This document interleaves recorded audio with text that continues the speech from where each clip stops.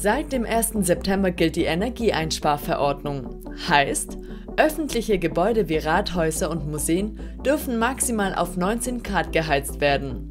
Vorher waren es 20 Grad. Das könnte bald auch für private Büros gelten. So steht es laut NTV zumindest in einem Entwurf der Europäischen Kommission. Was aber tun, wenn es im Büro der eigenen Ansicht nach zu kalt ist? Grundsätzlich besteht kein Anspruch auf kältefrei. Trotzdem darf die Bürotemperatur laut Arbeitsstättenverordnung nicht der Gesundheit schaden. Abhängig von der körperlichen Beschäftigung muss der Arbeitgeber unterschiedlich heizen.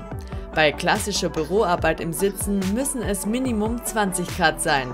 Bei leichten bis mittelschweren Tätigkeiten im Gehen, Stehen oder Sitzen 17 bis 19 Grad. Und bei schwerer körperlicher Arbeit im Gehen oder Stehen mindestens 12 Grad.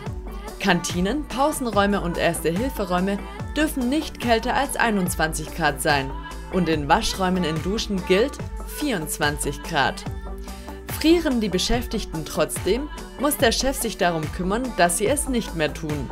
Dafür kann er zum Beispiel mehr Kleidung bereitstellen oder zusätzliche Heizkörper.